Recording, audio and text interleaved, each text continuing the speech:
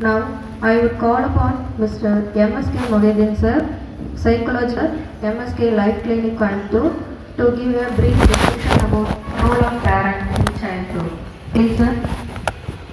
மதிப்புக்குரிய குழந்தைகளை பெற்ற பெற்றோர்களே மாணவர்களே உங்களை சந்திப்பதில் நாங்கள் மகிழ்ச்சி அடைகிறோம் ஒரு நிறுவனத்தில் நம்முடைய குழந்தைகள் கல்வியை கற்றுக்கொண்டிருக்கிறார்கள் என்றால் அந்த நிறுவனத்துடைய செயல்தன்மைகளை புரிந்து கொள்வது மிக அவசியம்.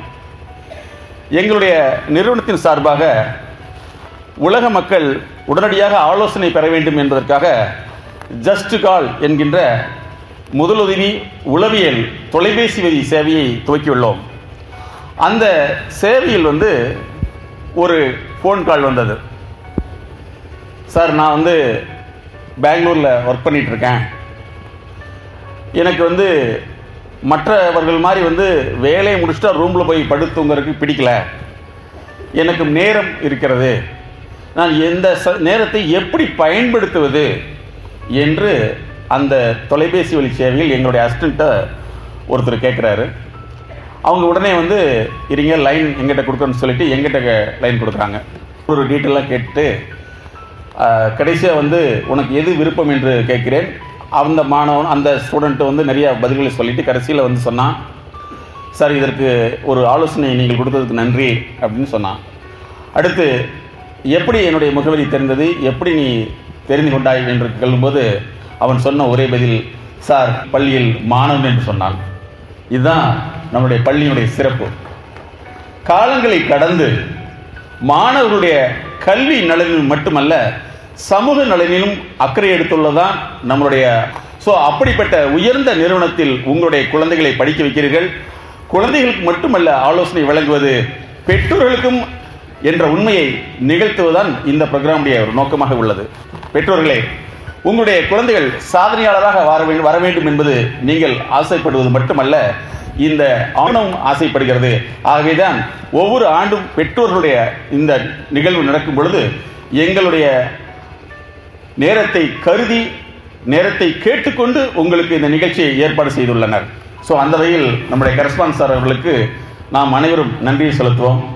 பெற்றோர் என்கின்ற வார்த்தையே நாம் எப்படி சொல்கிறோம் என்று சொன்னால் நீங்கள் இயற்கையிட்டிருந்து வரம் பெற்றோர் ஆகவே குழந்தையை பெற்றோர். அந்த குழந்தையை பெற்றோராக உள்ளவர்கள் குழந்தையுடைய வளர்ப்பு முறையில் என்னென்ன நவீனத்தை புகுத்த வேண்டியுள்ளது? என்பதை தெரிந்து கொள்வதுதான் மிக அவசியம். பொதுவாக நம்முடைய கருத்து என்னவென்றால் இதுவரைக்கும் உங்களுக்கு சொல்லக்கூடிய கருத்து என்னவென்றால் பாசிட்டிவ் பேரண்டிங் என்று சொல்வார்கள். குழந்தைகளிடத்தில் நேர்மறையாக நடந்து கொள்ளுங்கள் என்பது. ஆனால் இது கிட்டத்தட்ட நூறு ஆண்டுகளுக்கு முன் ஏற்பட்ட ஒரு விஷயம் என்பதை புரிந்து கொள்ள வேண்டும். சரி இந்த பாசிட்டிவ் பேரண்டிங் என்பது தவறா? என்றால் இல்லை. ஒரு குழந்தை ஆறு வயது வரை பெற்றோர்கள் குழந்தைகளுக்காக வளைந்து கொடுத்து வாழ வேண்டும். ஆனால் ஆறு வயதுக்கு அந்த குழந்தை மிகும் பொழுது அந்த குழந்தைக்கு ட்ரூ பேரண்டிங் அதாவது மெய்நிலை பெற்றோர்களாக நீங்கள் மாற வேண்டும். இதற்கும் அதற்கும் என்ன வித்தியாசம் என்று சொன்னால் யதார்த்த நிலையை நீங்கள் உங்களுடைய குழந்தைகளுக்கு சொல்லிக் கொடுக்க வேண்டும். யதார்த்த நிகழ்வை அந்த குழந்தைகளுக்கு காண்பித்து கொடுக்க வேண்டும். ஸோ அப்படி யதார்த்த நிகழ்வை அந்த குழந்தைகளுக்கு சொல்லிக் கொடுக்கும் பொழுதுதான் அந்த குழந்தைகளால் சமூகத்தில் சாதனை பெற முடியும். ஆகவே இளம் வயதில் உருவாக்கப்பட்ட கருத்து அடிப்படையில் அந்த குழந்தைகளை தொடர்ந்து நடத்தும் பொழுது அந்த குழந்தைகள் உங்களை எப்படி வேணாலும் வழிப்படுத்தும் அல்லது வழிப்படுத்துவதற்கு தகுந்த முயற்சி எடுக்கும். ஆகவே நீங்கள் பாசிட்டிவ் பேரண்டிங் என்பதிலிருந்து யதார்த்த நிலை மெய்நிலை பெற்றோர்கள் என்ற ட்ரூ பேரண்டிங் என்பதற்காக நீங்கள் மாறிவிட்டால் அந்த குழந்தைகளை நீங்கள் சரியான முறையில் வழிப்படுத்த முடியும். சரி. இது இரண்டாவது வகை பேரண்டிங் என்று சொல்கிறோம். அடுத்து மூன்றாவது வகை என்று சொன்னால் சில குழந்தைகள் நம் சொல்வதற்கு அல்லது நம் நம்முடைய தேவைக்கு தகுந்த போல் தன்னை மாற்றிக்கொள்ளாமல் தொடர்ந்து அந்த குழந்தை தன்னுடைய இஷ்டத்திலே நடந்து இருக்கிறது தான் விருப்பத்தை மட்டுமே செயல்படுத்துகிறது என்று சொன்னால் நீங்கள் அடுத்த நிலை பெற்றோர் தெரபியூட்டிக் பேரண்ட் என்று சொல்கிறோம். அந்த குழந்தைகளை எப்படி வழிப்படுத்துவது என்ற ஒரு சிகிச்சை நிலையில் ஒரு பெற்றோர்களாக மாற வேண்டிய பொறுப்புள்ளது. அதற்கு அடுத்தது கார்பரேட் பேரண்டிங் என்று சொல்கிறோம். நீங்கள் பல நேரங்களில் ஒரு தொழில் நிறுவனத்தை வைத்திருக்கலாம் அல்லது தொழில் நிறுவனத்தை நடத்தி கொண்டிருக்கலாம். இப்படிப்பட்ட குடும்ப அமைப்பில் இருக்கக்கூடிய குழந்தைகள் அந்த நிறுவனத்தை எப்படி நடத்த வேண்டும் அல்லது இந்த சமூக சூழலுக்காக எப்படி தன்னை மாற்றிக்கொள்ள வேண்டும் என்பதற்கு கார்ப்பரேட் பேரண்டிங் என்ற ஸ்டைலை நீங்கள் ஃபாலோ பண்ண வேண்டும். ஆக பெற்றோர்கள் என்கின்ற தன்மையில் இத்தனை வேறுபாடுகள் இருக்கிறது. இதை புரிந்து கொண்டால் மட்டுமே அந்த குழந்தையை சரியான முறையில் வழிப்படுத்த முடியும். பொதுவாக குழந்தைகள் என்பது நம்முடைய குழந்தை பருவத்தில் எதெல்லாம் கிடைக்கவில்லையோ அதெல்லாம் நம்முடைய குழந்தைக்கு கிடைக்க வேண்டும் என்று நினைக்கிறோம். அப்படித்தானே? ஆமாவா இல்லையா? கரெக்டு இல்லையா? இப்படிதான் எங்கிட்ட ஒருத்தர் வந்தாங்க. என்னன்னு சொன்னால் சார் நான் சின்ன வயசில் வந்து பைக் ஓட்டுனதே கிடையாது. இப்போ பைக் வந்திருக்குது. பையனுக்கு வாங்கி தர சொன்னால் அவங்க அப்பா வாங்கி தர மாட்டேங்கிறாரு அப்படின்னு கம்ப்ளைண்ட் பண்ணுறாங்க இப்போ என்ன சொல்கிறது இது சாத்தியமா? அந்த மாணவனை அழைத்து இப்போது இந்த வயசில் பைக் ஓட்டக்கூடாது அப்படின்னு சொன்னால் அவன் ஏகப்பட்ட விளம்பரங்களை காமிக்கிறான். இந்த விளம்பரங்கள் எல்லாம் ஓட்டுறாங்க சார். இவங்கெல்லாம் மனுஷன் தானே. ஏன் சார் நான் ஓட்டக்கூடாது அப்படின்னு கேட்குறான் இப்போ பார்த்தீங்கன்னா அந்த குழந்தை ஆசைப்படுவது அல்லது மாணவன் ஆசைப்படுவது தவறில்லை. அந்த ஆசை வரைமுறைப்படுத்துவது யாருடைய பொறுப்பு? பெற்றோருடைய பொறுப்பு. ஆகவே குழந்தையை ஆசையை நிறைவேற்றுவதல்ல ஆசையை முறைப்படுத்த வேண்டும். இன்றைய தினம் இந்த சமயத்தில் அவனுக்கு கல்வி தேவையா? இல்லை வாகனம் தேவையா? எது தேவை? கல்வி தேவை. இப்போ அடுத்து இன்னொரு கம்ப்ளைண்ட் என்ன தெரியுமா? நன்றாக ஒன்றை நினைவில் வைத்துக் கொள்ளுங்கள். உலகத்தில் போதை வஸ்துக்களினுடைய பழக்கத்தை கூட மாற்றி விடலாம்.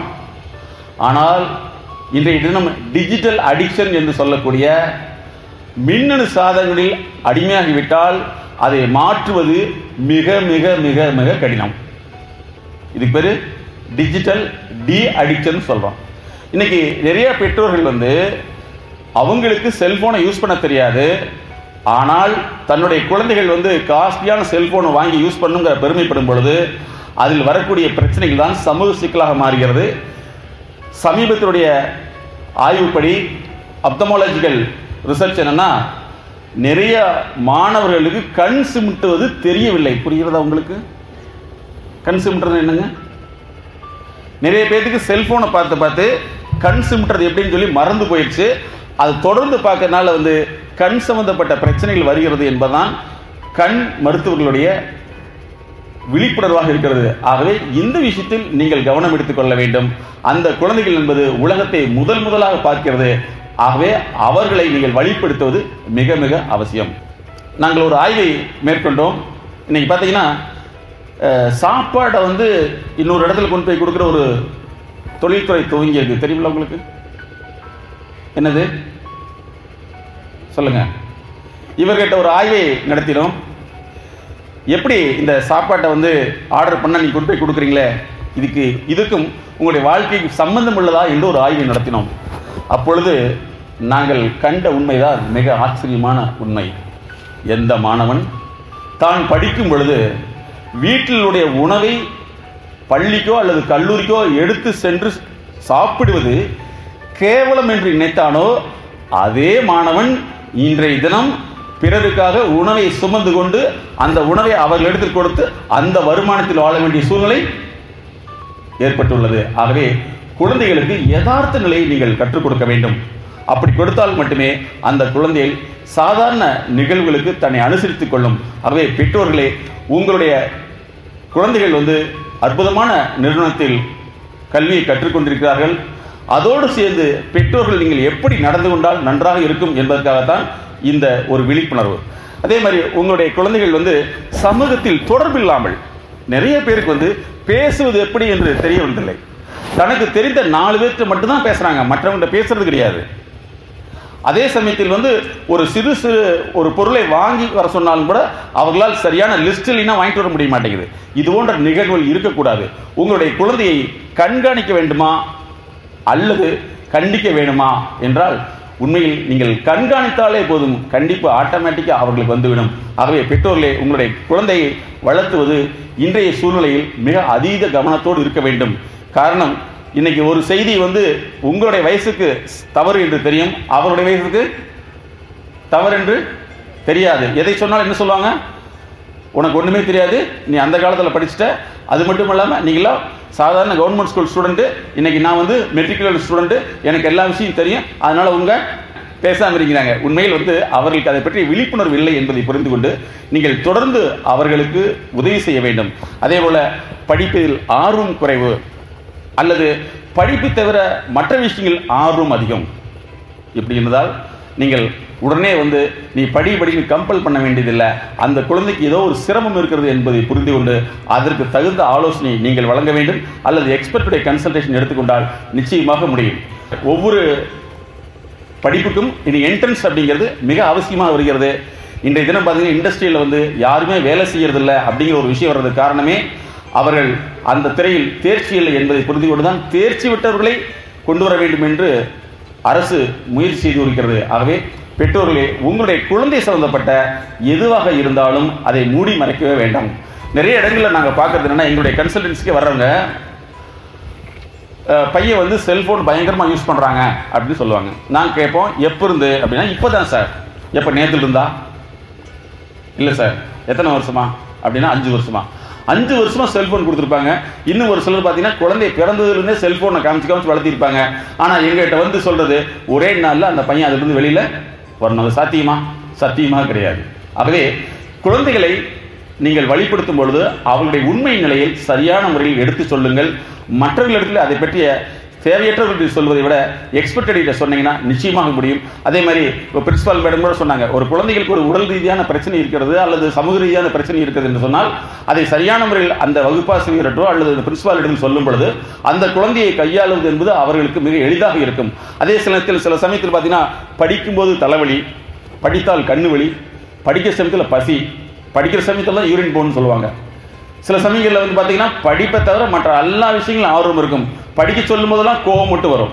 இதெல்லாம் பார்த்தீங்கன்னா அந்த குழந்தையுடைய இயல்பு நடத்தை என்று நீங்கள் கண்டுகொள்ள வேண்டிய அவசியமில்லை அந்த குழந்தைகளுக்கு ஏதோ ஒரு வெறுப்பு நிலை உள்ளது என்பதை நீங்கள் புரிந்து கொண்டு அதற்கேற்ப உதவி செய்தால் நிச்சயமாக உங்களுடைய குழந்தைகள் சாதனை குழந்தைகளாக மாறிவிடும். ஆகவே நான் உங்கள் சார்பாக வந்து நம்ம கரஸ்பாண்ட் சார்ட்ட ஒரு வேண்டுகோள் வைக்கிறேன். நான் லாஸ்ட் டைம் கூட இதை சொன்னேன். சார் எப்படியோ எல்கேஜி யூகேஜி ப்ளஸ் டூ வரைக்கும் கொண்டு வந்துட்டீங்க. அதுக்கடுத்து வேலைக்கு போகிறதுக்கு உங்கள் நம்ம ஸ்கூலில் படித்தவங்க வேலைக்கு போயிடுறாங்க. இடையில ஒரு கேப் இருக்குது. ஒரு காலேஜ் ஒன்று ஆரம்பிச்சிருங்க சார். ஸோ ஒரு கல்லூரி ஆரம்பித்து விட்டால் எல்கேஜிலிருந்து படித்த மாணவன் இந்த கல்லூரியிலேயே திறம்பட அவன் செயல்பட்டு சமூகத்தை புரிந்து கொண்டு மிக சிறந்த சாதனையாளராக மாறுவதற்கு வாய்ப்பாக இருக்கும். அதுக்கு உங்கள் சார்பாகவும் நானும் அவர்களிடத்தில் வேண்டுகோள் வைக்கிறேன். சரி இப்போ வந்து ஒரு சின்ன விழிப்புணர்வை கொடுத்தாச்சு. நீங்கள் குழந்தைகள் சம்மந்தப்பட்ட உங்களுடைய சந்தேகங்களை எங்கிட்ட கேட்கலாம். உங்களுடைய குழந்தையை வந்து நீங்கள் ஒருத்தர் தான் வளர்த்துறீங்க. ஆனால் இந்த உலகம் அந்த குழந்தையுடைய மனதில் தேவையற்ற பல செய்திகளை ஒவ்வொரு வினாடியும் போட்டுக்கொண்டிருக்கிறது உதாரணமாக எடுத்துக்கொண்டு சொன்னால் ஒரு வினாடிக்கு முப்பத்தி ஐயாயிரம் வீடியோவுக்கு மேலே வந்து அப்லோட் செய்யப்படுகிறது என்று ஒரு கணக்கு சொல்கிறது. இன்னும் சமீபத்தில் பார்த்தீங்கன்னா மூன்று லட்சம் வீடியோக்கள் அப்லோட் செய்யப்படுகிறது. இவை அனைத்தும் அந்த யூடியூப்ல அப்லோட் ஆகிறதோ இல்லையோ ஒவ்வொரு குழந்தையுடைய மனதிலும் அப்லோட் ஆகிறது. ஆகவே அதை டவுன்லோட் பண்றதுக்கு நீங்கள் சரியான முயற்சி எடுத்துக்கொள்ள வேண்டும். அப்படி எடுத்துக்கொண்டால் மட்டுமே அவர்களை வழிப்படுத்த முடியும். யூடியூப்ல வர ஸ்கூலு காலேஜ் இதெல்லாம் வந்து அஹ், டம்மியா பேசுற அந்த இதையே தான் குழந்தைங்க அதிகமா பாக்குறாங்க எஸ் கரெக்ட் அதாவது வந்து அந்த டிக்டாக் வீடியோவாக இருக்கட்டும் அல்லது வந்து தேவையில்லாத இந்த நக்கல் நையாண்டி வீடியோக்களாகவும் இதை அதிகமாக பார்ப்பாங்க. இதை பார்க்குறாங்க. காரணம் அதை பார்க்க வைப்பது எப்படி என்பதற்கு ஏழாயிரம் விஞ்ஞானிகள் வேலை செய்கிறாங்க ஹலோ எத்தனை பேர்? ஏழாயிரம் விஞ்ஞானிகள் வேலை செய்கிறாங்க ஒரு வீடியோவை வைரல் பண்ணுறதுக்கு குறைஞ்சது ஒரு கோடி ரூபா செலவு பண்ணுறாங்க ஆனால் நம்ம குழந்தையை வழிப்படுத்துறதுக்கு என்ன செய்கிறோம் நம்ம சொல் அந்த குழந்தைக்கு வந்து ஒரு அறநூறுவாய்க்கு நெட்டை போட்டு கொடுத்து ஒரு பதினஞ்சாயிரம் ரூபாய்க்கு வந்து அருமையான செல்லு போய் வாங்கி கொடுத்தா இப்போ சொல்லுங்கள் டெக்னாலஜி எங்கே சக்ஸஸ் ஆகும்? குழந்தையை அதிலிருந்து தவிர்ப்பதற்கு நாம் என்ன யுக்தியை கையாளுகிறோம்? எங்ககிட்ட அதனால தான் நாங்கள் என்ன செஞ்சோம்னா மீடியா சைக்காலஜி இன்ஸ்டியூட்னே ஒன்று கிரியேட் பண்ணணும். இந்த குழந்தைகளை வந்து செல்போன் பார்க்காதுன்னா அது சொல்லவே கேட்கவே மாட்டாங்க. ஏன்னா டேடி மம்மி நீங்களாம் பழைய அம்பாசிடர் இருக்காரு உங்களுக்கு இந்த விஷயம்? தெரியாது. இன்னைக்கு வந்து டிக்டாக்ல இருந்தால் மட்டும்தான் எனக்கு வேல்யூ அப்படின்னு சொல்லுவாங்க. இவர்களை முறைப்படுத்த வேண்டும் என்பதற்காக தான் வந்து இந்த ஒரு மீடியா சைக்காலஜி இன்ஸ்டியூட்டே ஸ்டார்ட் பண்ணி அதில் நிறைய மாணவர்களை அதுலேருந்து வெளியில் கொண்டு வர்றோம். அதனால ஒரு செய்யாதே என்று சொல்வதை விட அதற்கு பதிலாக வேறொரு விஷயத்தை காமித்து கொடுத்தால் மட்டுமே அந்த குழந்தைகள் வேறு பாதையில் போகும். பாதை போதை இரண்டுக்கும் ஒரே வித்தியாசம்தான். தனக்கு தெரிந்த பாதையிலேயே சென்று கொடுத்தால் அது ஒரு போதை. அந்த பாதையிலிருந்து ஒரு மாற்று பாதையை கொடுத்தால் நிச்சயமாக போதையிலிருந்து தெளிந்து அவர்களால் சமூகத்துக்கு மிகச்சிறந்த சாதனையாளராக மாற முடியும். அதற்குண்டான முயற்சிகளை நாம் ஆக்கப்பூர்வமாக செய்யணும் ஓகே. நிறைய பெற்றோர்கள் தங்களுடைய குழந்தைகளுடைய தவறுகளை மூடி மறைத்தல் என்பது அவர்களுடைய சாதனையாக நினச்சிக்கிறாங்க. அது மிகப்பெரிய பாதிப்பை ஏற்படுத்திடும். உடலில் எவ்வளவு பாதிப்பு இருந்தாலும் அந்த பாதிப்பை உடனடியாக மருத்துவ ஆலோசனை பெறுவது வேற. குழந்தைகளுடைய நடத்தையில் பிரச்சனை இருக்கும் பொழுது அதை மறைக்காதீர்கள். அந்த குழந்தை அதை உண்மை என்று நினைத்துக் கொள்ளும். நீங்கள் செய்யறதா கரெக்ட் நினைச்சிச்சுன்னா அந்த குழந்தைகள் பாதிப்பது பல்வேறு வகையில் இருக்கலாமாகவே குழந்தைகளை வழிப்படுத்த வேண்டும். நாங்கள் கூட அடிக்கடி சொல்வதுண்டு குழந்தையை பழக்க வேண்டுமா வளர்க்க வேண்டுமா என்று சொன்னால் நாம் என்ன செய்யணும்? பழக்க வேண்டும். ஏன்னா இந்த சமூகம் உங்களை தவிர உங்கள் குழந்தைகள் அக்கறைப்படக்கூடியவர்கள் யாருமே இல்லை. ஆனால் மற்றவர்களெல்லாம் அவர்களை வேறு வகையில் தான் பயன்படுத்துவார்கள் என்பதை நீங்கள் புரிந்து கொள்ள வேண்டும். இன்னைக்கு லேட்டஸ்ட்டாக வரக்கூடிய விஷயம் என்னன்னா அந்த குழந்தைகள் சொல்வதை கேட்கவில்லை என்ற கம்ப்ளைண்டோடு சேர்ந்து இப்போ கம்பல்சரி அவன் சொல்கிறத நான் கேட்டால் மட்டும்தான் நான் இரு வீட்டில் இருப்பேன் அப்படின்னு சொல்லி கண்டிஷன் பெயில் கொடுக்குற அளவுக்கு இருக்காங்க. ஸோ இதுவும் வந்து அந்த குழந்தைகளை நீங்கள் வழிப்படுத்த வேண்டும். அவர்களுக்கு நிறைய வந்து கவர்ச்சிகரமான விஷயங்கள் வெளியே உலாவிக் கொண்டு வருகிறது அந்த கவர்ச்சி விஷயங்களிலும் நாம் வெளிக்கொண்டு வந்து அவர்களை முனைப்படுத்தினால் மட்டுமே இந்த சமூகத்தினால் அவர்களால் வாழ முடியும் இந்த சமூகத்தில் அவர்கள் சாதிக்க முடியும். இல்லை என்றால் பாதிக்கத்தான் முடியும் என்பதை நீங்கள் புரிந்து கொள்ள வேண்டும். மாணவர்களை பொறுத்தளவு வந்து பார்த்தீங்கன்னா அவர்கள் எதிலையும் ஆர்வம் மிக்கவர்கள். அவர்களுக்கு புது புது செய்திகளை தெரிந்து கொள்ள வேண்டும் புதிய விஷயங்களில் நான் ஈடுபட வேண்டும் என்ற ஆர்வம் இருக்கும். ஆனால் அவை இவர்களுடைய வாழ்க்கைக்கு எந்த அளவு பாதிப்பு ஏற்படுத்தும் என்பது தெரியாதனால தான் அதில் ஆர்வமாக உள்ளார்கள். அதை சரியான முறையில் நீங்கள் வழிப்படுத்த வேண்டும் முறைப்படுத்த வேண்டும். சொல்லுங்க சார். பெற்றோரோட சார்பில் நான் ஒரு கேள்வி கண்டிப்பா சார். ஏன்னா அவங்க தயங்குறாங்க சில பேர். நிறைய பெற்றோர்கள் வர்றாங்க வந்து மாணவர்களை பத்தி ஒரு சில குறைகள் சொல்றாங்க. சொல்லிட்டு நான் சொன்னேன்னு சொல்லிடாதீங்க சார் அப்படின்னு பயப்படுறாங்க. நீங்களே கண்டிக்கிற மாதிரி கண்டிங்க நான் சொன்னேன்னு சொன்னா எனக்கு பிரச்சனையாயிரும் வீட்லன்னு நினைக்கிறாங்க. எதனால குழந்தைகளை பார்த்து பெற்றோர்கள் பயப்படுகிறார்கள்? சார் வந்து ஒரு அருமையான கேள்வி கேட்குறாரு நிறைய பெற்றோர்கள் வந்து இப்படி சொல்ல முடியுமா டாக்டர்கிட்ட போய்? பையனுக்கு பிரச்சனை. நான் சொன்னேன்னு சொல்லிடாதீங்க. நீங்களே கண்டு சொல்லிட்டு. சொல்ல முடியுமா? இது வந்து ஆக்சுவலாக வந்து நாங்கள் என்ன சொல்கிறோம் நீங்கள் பேரண்ட் ஒரு குழந்தைக்கும் பெற்றோர்களோட தொடர்பை வந்து இதுக்கு தனியாகவே வந்து ஒரு ஒரு நாங்கள் மைண்ட் லேப்னே வச்சுருக்கோம். நீங்கள் எப்படிப்பட்ட பெற்றோர்கள்னு சொல்லிட்டு. ஃபஸ்ட்டு வந்து சில பெற்றோர்கள் தங்களுடைய குழந்தையுடைய சந்தோஷத்துக்காகவே எல்லா விஷயத்தையும் எதை கேட்டாலும் அப்ரூவல் பண்ணிடுவாங்க.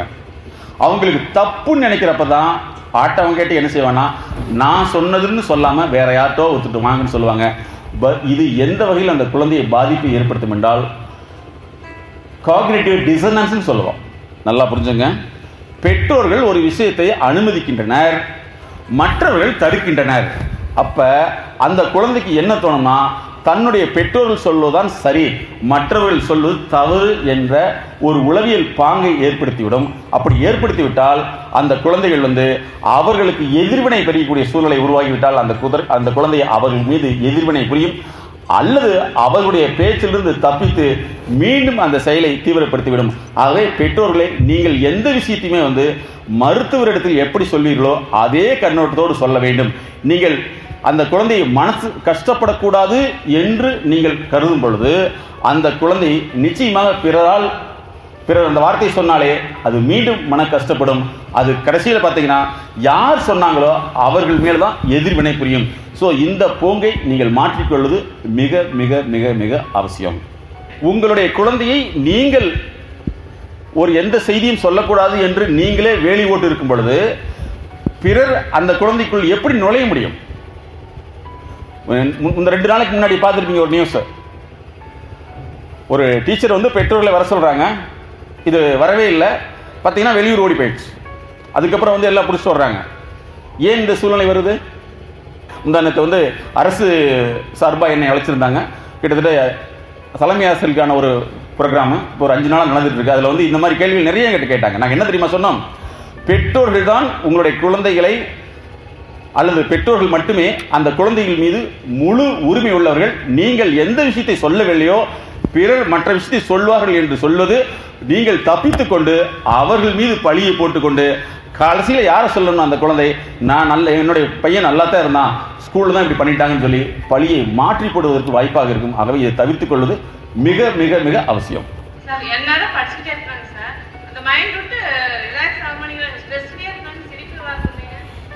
சரி. வெரி குட் அருமையான கேள்வியாக இருக்குது. டுவெண்ட்டி ஃபோர் ஹவர்ஸ் ஒர்க் பண்ணிகிட்டே இருக்காங்க. சம்பளம் மட்டும் வரல. இல்லை? நான் கேட்குறது கேட்டுங்க. டுவெண்ட்டி ஃபோர் ஹவர்ஸ் பண்ணிகிட்டே இருக்கேன் சம்பளம் மட்டும் வரல. அப்படின்னா ஒர்க் பண்ணது தப்பா? இல்லை சம்பளம் வராததுக்கு ஒர்க் பண்ணது தப்பா? இதே மாதிரி இப்போ இந்த குழந்தைய வந்து ஒரு இண்டஸ்ட்ரியில் வச்சோம்னு வச்சுங்களேன் அது வேலை செஞ்சுட்டே இருக்குது. ப்ரொடக்ஷன் வரலன்னா என்ன ஆகும்? என்னமாகும் ஆப்ரேஷன் நடந்துகிட்டே இருக்குது. ஆனால் பேஷண்ட் வெளியே வரல. என்ன ஆகும் ஸோ ஆக்சுவலாக படிப்பில் பிரச்சனை இல்லை. இந்த குழந்தைகள் வந்து முறைப்படுத்த தெரியாமல் நீண்ட தூரம் ஓடிக்கொண்டிருக்கிறது என்பது பொருள். இது ஸ்ட்ரெஸ் கிடையாது. வழி தெரியாமல் ஓடிட்டே இருக்கான்னு அர்த்தம். அவங்களை முறைப்படுத்தணும். சரிங்களா? படிப்பது என்பது வந்து அதை முறைப்படுத்தினால் போதும். இந்த குழந்தை வந்து எக்ஸ்ட்ரா ஏதாவது ஒன்று பண்ணணும் அப்படிங்கிற ஒரு வேலையை செய்யலாம். அல்லது வந்து பெற்றோர்கள் நிருபத்தின் காரணமாக இப்போ தொடர்ந்து படித்தா படிக்கிறேன்னு நினச்சிக்குவாங்க அப்படிங்கிறது கூட இருக்கலாம். இதை நீங்கள் வந்து மறு ஆய்வு செய்து அதுக்கு தகுந்த ஒரு யுக்தியை கையாளுவது அவசியம். எங்களுடைய ஃபவுண்டேஷன் இன்னொருத்தர் வந்தாங்க. பையன் நைன்த்து படிக்கிறான். அவர் என்ன சொல்கிறாருன்னா பையன் பொழுதன்னைக்கு வண்டி எடுத்துகிட்டே சுற்றுறான் சார். இப்போ நான் என்ன சொல்கிறேன்னா வண்டி வாங்கி தர்றேன். நீ டென்த்து முடி. அவன் கேட்குறான் டென்த்து முடிக்கிறதுக்கு இப்போ வண்டி வாங்கி கொடு. சொல்லுங்க. இப்போ இது பேரண்ட் என்ன சொல்லணும்? ஒன்றா வேணாம்னு சொல்லணும். கரெக்டாக வண்டி இப்போ தர வாங்கி தர மாட்டேன்னு சொல்லணும் வண்டி இவர் எல்லாம் கையில் கொடுத்துக்கிறாரு. இதுதான் வந்து அந்த குழந்தைகளுக்கு ஒரு மிகப்பெரிய குழப்பத்தை ஏற்- ஏற்படுத்தும். ஆறு மாதத்துக்கு கொடுக்க வேண்டிய வண்டி முன் பின்னாடி கொடுக்க வேண்டிய முன்னாடி கொடுத்தா நான் நல்லா படிப்பல்ல அப்போ பெற்றோர்கள் வந்து ஒரு விஷயத்தில் தீர்க்கமாக இருந்து அந்த குழந்தைகளை பழக்க வேண்டும். இப்போ வண்டி வேண்டாம்னா வண்டி வேண்டாம்னு சொல்லி பழகுங்க. அது சில பெற்றோர்கள் என்ன செய்கிறாங்கன்னா நான் வண்டி வாங்கி கொடுக்கவே இல்லை. எங்கள் சொந்தக்காரங்க வாங்கி கொடுத்தாங்க. இதே மாதிரி செல்ஃபோன் நான் வாங்கியே தரமாட்டேன்னு சொல்லிட்டேன். சொந்தக்காரங்க வாங்கி கொடுத்தாங்கன்னு சொல்கிறாங்க கடைசியில் வந்து பாதிக்கிறதா சொந்தக்கார் கிடையாது. யாரு? நீங்கள் தான் அதனால் இந்த பழிகளை தூக்கி போடும் யுக்தியை கொஞ்சம் குறைத்து கொள்வது அந்த குழந்தையுடைய எதிர்காலம் கருதி நன் நல்லதாக இருக்கும். ஸோ இந்த போட்டி உலகம் என்ற வார்த்தையை நான் தவிர்த்து கொண்டு திறமையானவருடைய உலகம் என்று சொல்கிறேன். நல்லா தெரிஞ்சுங்க. போட்டி உலகங்கிற வார்த்தை பழைய வார்த்தை. இனி என்னது? திறமையானவர்களுடைய உலகம். இந்த உலகம் திறமையான மட்டுமே மதிப்பு கொடுக்கும். இப்போ ஒருத்தர் ஹார்ட் ஒர்க்கு பண்ணுறாரு ஆனால் பொருளாதாரத்தில் முன்னேற முடியல. அப்போ பொருளாதாரத்துக்கு முன்னேற அளவுக்கு நான் ஒர்க்குங்க செய்யலை. வேலை அளவில் இருக்குதே தவிர செயல் அளவில் இல்லை. வேலை வேறு செயல் வேறு. ஆகவே திறனை எதிர்பார்க்கக்கூடிய உலகம் திறன்களை மட்டுமே வரவேற்கக்கூடிய உலகம் போட்டி என்பதை தாண்டி திறன் அதிகப்படுத்த வேண்டிய அவசியம் உள்ளது. உங்களுடைய குழந்தையுடைய கற்றல் திறனாக இருக்கட்டும் சமூக திறனாக இருக்கட்டும் பிறரோடு பேசும் திறனாக இருக்கட்டும் அதைவிட ஒரு மிகப்பெரிய திறன் தான் செய்வதை தவறு என்று ஒத்துக்கொள்ளும் திறன். முக்கியமான செய்தி சைல்டுடைய குழந்தைகளுடைய பர்சனாலிட்டி அக்ரஸிவ் சைல்டுன்னு கேள்விப்பட்டிருப்பீங்க. எதை சொன்னாலும் எதிர்த்து பேசக்கூடிய குழந்தை. இது ஒரு ஒரு டைப் இந்த எதிர்த்து பேசக்கூடிய ஒரு குழந்தை உங்ககிட்ட ஆரம்பத்திலிருந்தே நீங்கள் அதை டெவலப் பண்ணி விட்டீங்கன்னு வச்சுங்களேன். ஒன்றும் இல்லை. இதெல்லாம் நாங்கள் நேரடியாக பார்க்குற கேசஸ் தான். அம்மா சொல்லுது ஒரு பால் வாங்கிட்டான்னு சொல்லிட்டு உடனே அவன் கேட்குறான் நான் தான் பொழுதுக்கு உனக்கு பால் வாங்குமா? பால் வாங்குறதுக்கு வேற ஆள் போக மாட்டாங்களா? அவர் எழுப்பிவிடு யார் அவரு? யாரு? அவங்க அப்பா. டேய் அப்பா தூங்குறாரா? அப்போ எனக்குள்ள தூக்கம் வராதா? தூக்கம் வரும்ல? அவருக்கு மட்டும் நீ செல்லம் கொடுக்குற? அப்படிலாம் போக முடியாது. பையன் என்ன படிக்கிறான்? ஆறாவது. நல்லா புரிஞ்சுங்க. ஸோ இது அக்ரெசிவ் சைல்டு அவன்கிட்ட ஒரு வார்த்தை சொன்னீங்கன்னா நூறு வார்த்தை பேசுவான். அதுக்கு அவங்க பேரண்ட் கிட்ட கூப்பிட்டு சொல்லி நீங்கள் பேசாதீங்கன்னா நான் பேசாதது தான் சார் சொல்றேன். பேச மாட்டேன் தான் சார் சொல்கிறேன் பேசிகிட்டு இருக்கேன் இருக்கான் சார். ஏமா பேச மாட்டேன்னு சொல்லக்கூடாதுமா பேசாமல் இரிமா அதுதான் சார் நான் சொல்லிட்டு நான் பேச மாட்டேன்னு சொல்கிறேன் சார். இப்போ சொல்லுங்கள் இது அக்ரஸிவ் சைல்டு இன்னொன்று வந்து அடுத்த டைப் என்ன சொல்லணுமா? எந்த விஷயமா இருந்தாலும் இனிமேல் செய்யக்கூடாது. சரி. அங்கே போகக்கூடாது. சரி. அப்புறம் என்ன? சொல்லியாச்சுல? முடிஞ்சா? இது என்னது? அக்ரஸிவ்க்கு ஆப்போசிட் சைல்டு இன்னொரு சைல்டு என்னன்னா என்ன வேணாலும் சொல்லுங்க. அது வாட்டில் செய்ய வேண்டியது செஞ்சுக்கிட்டே இருக்கு. எதை சொன்னாலும் கேட்கவே கேட்காது. நேத்தானே சொன்னேன் அது நேற்று இன்னைக்கு வேற. இது ஒரு டைப் சரிங்களா அதுக்கடுத்து இன்னொரு டைப் என்னன்னா சில குழந்தைகள் வந்து எப்பவுமே கம்ப்ளைண்ட் நல்லா படிக்கணும். நீ நல்லா படிக்கணும் நீ சொல்றீல்ல. எனக்கு ஒரு வண்டி வாங்கி கொடுக்க வேண்டியதானே ஊரில் உள்ள அத்தனை பேர் செல்போன் இவ்வளவு வச்சு வச்சிருக்கான் ஒரு மனத்தில் வச்சிருக்கான் நீ சின்ன செல்போன் வச்சிருக்க. இதை வாங்கி கொடு. நீங்கள் என்ன செஞ்சாலும் எனக்கு செஞ்சிட்டீங்க. எப்போ ஸ்கூல்லாம் அப்படிலாம் பண்ணுற பண்ணிக்கோ. எனக்கா பண்ண? இப்படி கம்ப்ளைண்டிங் நேச்சர் இது ஒரு பர்சனாலிட்டி சரிங்களா? இப்படி பார்க்கும் பொழுது ஒவ்வொரு குழந்தைகளுடைய தன்மைகளை நீங்கள் புரிந்து கொண்டு அது பின்னாடி சரியாக போகும் நினைக்கிறது அது தவறாக இருக்கலாம். ஒரு சில குழந்தைகள் வேணால் சமூக சூழல் காரணமாக அந்த தன்னுடைய தவறை திருத்திக் கொள்ளலாம் தவிர பெரும்பாலும் அந்த குழந்தைகள் தான் செய்த தவறு என்பதை சரி என்று வைத்துக் கொள்கின்றன. ஆகவே இதை பெற்றோர்கள் புரிந்து கொண்டு அந்த குழந்தைகளை முறைப்படுத்த வேண்டும். எல்லாமே என்ன நினைச்சுக்கிறாங்கன்னா அது தானாக செய்ய போயிடும். எஸ் எப்போ சரியாகும்? சமீபத்துடைய ஆய்வு எண்பத்தி நாலு சதவீத ஃபெட்டல் ஆக்சிடென்ட் வந்து பெற்றோர்கள் வந்து வாகனங்களை குழந்தைகிட்ட கொடுக்கறதுனால தான் நடக்குது. இதை பார்த்துட்டு தான் நாங்கள் வந்து ஒரு கவர்மெண்ட்டுக்கு ஒரு ப்ராஜெக்டை கொடுக்க போகிறோம் என்னென்னா காஸ்மோ டிரைவிங் ஸ்கில்னு சொல்லிட்டு. ஒரு குழந்தைகளுக்கு வந்து அந்த டிரைவிங் ஸ்கில்லுங்கிற விஷயத்தை வந்து எப்படி கொடுக்கணும் எப்படி பண்ணணும் அப்படிங்கிற சொல்லி அது இருந்து வெளிக்கொண்டு வரட்டான் அதை ஓட்டக்கு சொல்கிற கொடுக்கல அதுலேருந்து வெளிக்கொண்டு வரக்காக நாங்கள் ஒரு ப்ராஜெக்டை வந்து நாங்கள் கொடுக்க போகிறோம் அதுக்குண்டான ஆய்வுகள் நடந்துட்டு வந்துட்டு இருக்கு. சரிங்களா?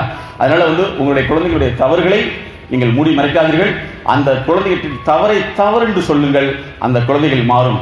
அதாவது என்ன சொன்னால் இங்கிலீஷில் வந்து ஒரு குழந்தை கேட்குறதெல்லாம் வாங்கி கொடுக்கறது பெற்றோர்கள் அல்ல. பழைய படங்கள் சினிமா படங்களை பார்த்தீங்கன்னா ஒரு வசதியான வீடு இருக்கும். அந்த வசதியான ஒரு குழந்தை இருக்கும். அந்த வசதியான குழந்தை வீட்டில் சொந்தக்காரர் ஒருத்தர் இருப்பார். அவர் என்ன வேணாலும் வாங்கி கொடுத்துட்டே இருப்பார். கடைசியில் பார்த்தீங்கன்னா அந்த குழந்தை வந்து தாறுமாறு தருகிட்டு போயிருக்கும். ஏன்னா எப்பொழுது உங்களுக்கு டிமாண்ட் தேவை என்பது நேர்த்தி செய்யப்படுகிறதோ அந்த தேவைகள் வந்து தவறான வழியில் போயிடும். அதே மாதிரி இன்னொன்று இன்னைக்கு நிறைய பேரண்ட்ஸ் என்ன செய்கிறாங்கன்னா தன்னுடைய குழந்தைகள் செல்ஃபோன் வாங்கி கொடுக்க மட்டுமல்லாத பாய் ஃப்ரெண்ட் கேர்ள் ஃப்ரெண்ட் அப்படிங்கிற மாதிரி கூட அலோவ் பண்ணிடுறாங்க. கடைசியில் சிக்கலாகி வரையில் தான் வந்து சொல்கிறாங்க எனக்கு என்ன செய்யணும் தெரியலன்னு சொல்லிட்டு. நீங்கள் குழந்தைகளை வரைமுறைப்படுத்துங்கள். பள்ளிக்கூடத்தில் ப்ராப்ளமாக நேராக ஸ்கூல் டீச்சர்கிட்ட போ. டைரெக்டாக அங்கே போய் கேட்டுக்கோ. ஸ்கூலில் டிஸ்கஸ் பண்ணாதீங்கிற ஒரு விஷயத்தை கொண்டு வாங்க. அதே சமயத்தில் வந்து அந்த குழந்தைகள் அப்படி நிர்பந்தம் இருந்தால் நீங்களே போங்க. அப்படி போயிட்டீங்கன்னா அது அந்த குழந்தைங்களுக்கு ஒரு சேஃப்டியாக இருக்கிறதுக்கு வாய்ப்பு அதிகமாக இருக்கிறது. எந்த குழந்தையுமே வந்து நான் சொன்னால் அந்த குழந்தை தப்பாக நினச்சிக்கும் நீங்கள் தப்பாக நினைக்கவே நினைக்காதீங்க. அது தப்பாக நினச்சா பரவாயில்லை. ஏன்னா நீங்கள் சொல்கிறது சரியா தவறா? சரி. இல்லையா? அப்போ சரியான விஷயத்த வந்து தப்பாக நினச்சிக்கோன்னு சொன்னீங்கன்னா தப்பான விஷயத்த சரியாக நினைக்கிறதுக்கு நீங்கள் என்ன செய்றீங்க? உதவி செஞ்சுட்டு இருக்கீங்கன்னு அர்த்தம். சரிங்களா? அதை புரிந்து கொள்ளுங்கள். சமீபத்தில் வந்து ஒரு ஸ்கூலில் எங்களை கூப்பிட்டுருந்தாங்க. ஆக்சுவலாக நார்த் இந்தியாவில் அங்கே என்னன்னு சொன்னால் நிறைய பசங்க வந்து ஸ்கூலில் ஃபீஸ் கட்டுறது கிடையாது. யாரெல்லாம் ஃபீஸ் கட்ட மாட்ட கட்ட மாட்டேன்னு சொல்கிறாங்களோ புது ஃபோன் வந்துச்சுன்னா உடனே வந்து இருபதாயிரம் கொடுத்து வாங்கிக்கிறாங்க. புரியுதா உங்களுக்கு நான் சொல்கிறது ஸ்கூலில் ஃபீஸ் கட்டுறது கிடையாது. ஆனால் செல்ஃபோன் புதுசாக வாங்கிக்கிறாங்க. இதை எங்கிட்ட கூப்பிட்டு கேட்டாங்க இது என்ன சார் பண்ணுறதுன்னு சொல்லிட்டு. ஒன்றும் இல்லைங்க.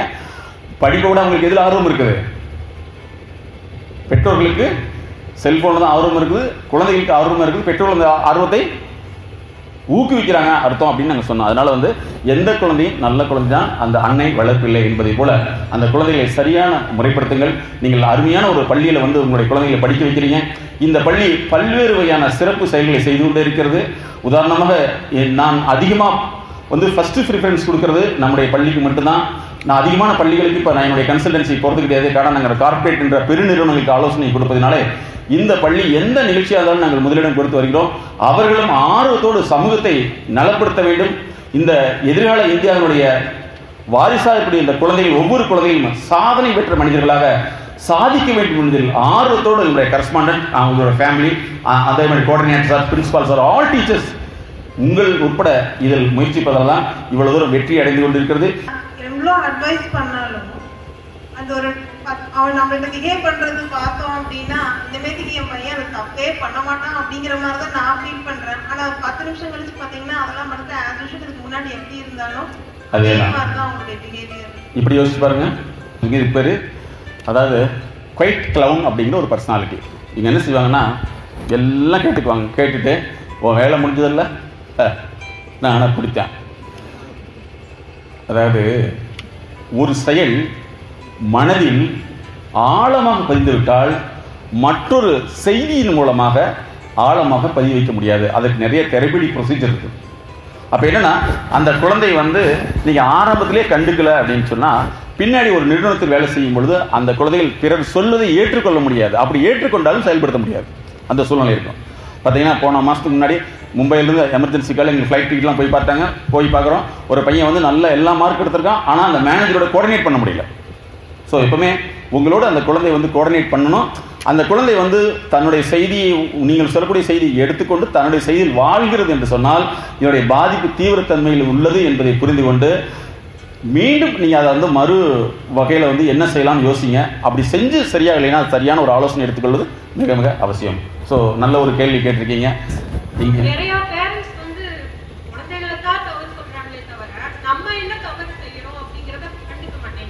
எஸ் அவங்க வந்து கரெக்டா இருந்து நம்ம எப்படி எல்லாருமே வந்து எல்லா பேரண்ட்ஸும் ஒரே மாதிரியே இருக்க மாட்டாங்க எல்லா ஸ்டூடெண்ட்ஸும் ஒரே மாதிரியே இருக்க மாட்டாங்க. இருந்தாலும் அவங்க வந்து ஒரு தப்பு செய்யறான்னா அது தப்பு செய்யறா தப்பு செய்யறான்னா அவனை ரொம்ப ஸ்ட்ரெஸ் பண்ணி சொன்னோம்னா அது கேட்க அது எப்படி சொல்லி புரிய வைக்கணும்னு அதை புரிஞ்சுக்காம அவங்க வீட்டு பிரச்சனையும் சேர்த்து அவங்க தள்ளி விடுறதுனால அந்த பசங்களுக்கு அது புரிய மாட்டேங்குது. அதை சரி பண்ணி எல்லா பேரண்ட்ஸும் அதை கவுண்ட் பண்ணாங்கன்னா அதான் அதான் இப்போ நீங்கள் கேட்குற மாதிரி வந்து அந்த பேரண்ட்ஸுக்கு வந்து பல பிரச்சனைகள் இருக்கும் அந்த பிரச்சனையை எப்படி டீல் பண்ணணும் தெரியாது. சரியா? அவங்கள பொறுத்தளவு வந்து என்னென்னா ஒரு பிரச்சனைனா சண்டை ஓட்டு பேசினா அதுக்கு பேர் பிரச்சனை தீர்ந்துன்னு நினைக்கிறாங்க. சண்டை ஓட்டால் பிரச்சனை தீராதுங்கிறது அவங்களுக்கு தீராது. தெரியாது. இல்லையா? முதல்ல அவர்களுக்கு வேணும். அதே மாதிரி வந்து குழந்தைகளை பொறுத்தளவு வந்து குழந்தைகள் முன்னாடி சண்டை போடக்கூடாது அப்படிங்கிறது தவறு. அதே சமயத்தில் குழந்தைகளுக்கு ஒரு பிரச்சனை இருக்குன்னு செய்- தப்பு கிடையாது. அந்த குழந்தை வந்து அந்த பிரச்சனைகள் இருந்தால் ஓ இப்படி ஒன்று இருக்குதுன்னு தெரிஞ்சுக்கும். இன்றைக்கி பார்த்தீங்கன்னா நிறைய வசதியான வீட்டில் வந்து எந்த பிரச்சனையுமே தெரியாமையே வளர்த்திடுறாங்க. கடைசியில் வந்து அது ஒரு சின்ன பிரச்சனையும் கூட தாங்க முடியாமல் போய்விடுகிறது. ஆகவே பெற்றோர்கள் வந்து தங்களுக்குள்ள முரண்பாடுகள் ஏற்படும் பொழுது ஃபேமிலி மேனேஜ்மெண்ட் என்கின்ற ஒரு சிறப்பு ஒரு கோர்ஸ் எடுத்துக்கிட்டு அதுக்குள்ளே சரி பண்ணிட்டாங்கன்னா போதும். எப்பவுமே என்ன கேட்குறாங்கன்னா பெற்றோர்கள்டா நான் சொன்னால் கேட்க மாட்டேங்கிறாங்க. நான் கேட்குறேன் நீங்கள் சொல்லி யாராவது அந்த நீங்கள் சொல்லி அடுத்தவங்க சொல்லி நீங்கள் கேட்டதை அந்த குழந்தை கேட்டிருக்குதா பார்த்துருக்குதா? அதாவது இது ஒரு ஜென்ரலாக சொல்கிறத விட உங்களுடைய பிரச்சனையை எப்படின்னு சொல்லிட்டீங்கன்னா அது சால்வ் ஆயிரும். காரணம் என்ன தெரியுமா? நம்ம எல்லாமே ரெப்ரன்சேட்டிவ் தான் பண்ணிகிட்டு இருக்கோம். என்னுடைய பிரச்சனை இது. இதற்கு என்ன அப்படின்னு கேட்டோம்னா சரியாயிடும் ஸோ இந்த அருமையான வாய்ப்பை ஏற்படுத்தி கொடுத்த நம்முடைய நிறுவன கரஸ்பாண்டன்ட் அவர்களுக்கும் அவர்களுடைய coordinator principal teachers all parents நன்றி தெரிவித்து இந்த ஆண்டும் வழக்கம் போல இந்த பள்ளி தமிழகத்திலேயே முதலிடத்தை பிடித்து நீட் எக்ஸாம்லையும் வந்து முதலிடத்தை பிடித்து மிகப்பெரிய வெற்றியான மாணவர்களை உருவாக்க வேண்டும் உருவாக்கட்டும் என்ற பிரார்த்தனை வாழ்த்துக்களோடு welcome to MSK life clinic foundation இது வாழ்வியல் மேம்பாட்டு நிறுவனம். உங்களது குழந்தைகள் அதிகமாக எதிர்த்து பேசுகின்றதா? எதற்கெடுத்தாலும் அழுகின்றதா? அதிகமாக கோபம் அடைகின்றதா?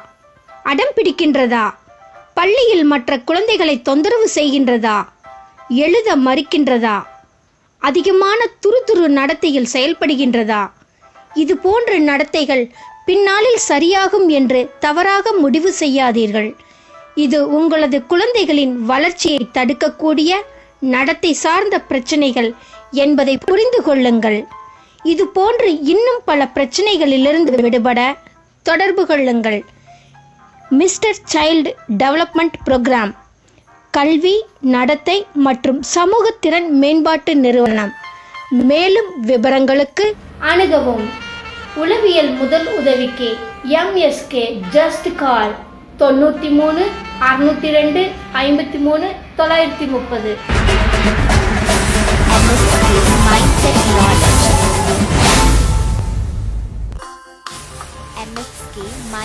நாலேஜ் इसके लिए